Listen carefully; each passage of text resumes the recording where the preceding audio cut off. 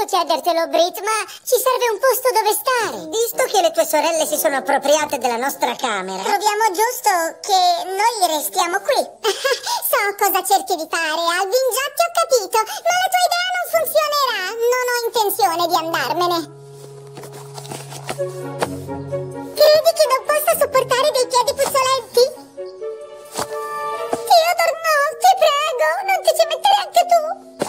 Ah, a Cipicchia, credo che andrò a tagliare delle rose, ma ragazzi sappiate che tu